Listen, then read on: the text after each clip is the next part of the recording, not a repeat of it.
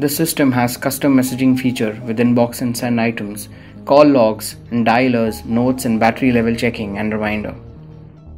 Let's see how it works. Welcome to Voice Assistant app. Click on the different sides of the screen to know details.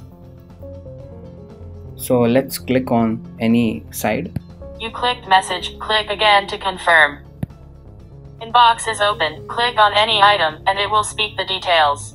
Or swipe left for sent items. Message from M650013 on Friday, 25th May 2018, 3:25 p.m. says Unlimited hello tunes and calls on Airtel.